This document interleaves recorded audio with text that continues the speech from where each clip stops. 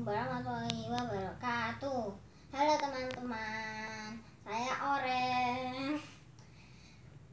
K1 Ibu Nurus. Mari kita membuat sandwich.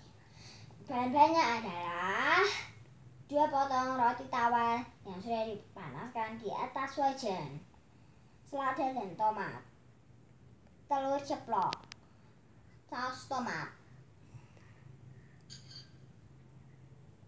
Cara membuatnya adalah ambil satu roti tawar,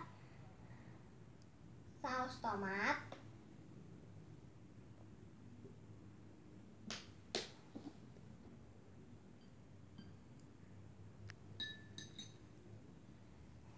taruh selada, telur ceplok, saus tomat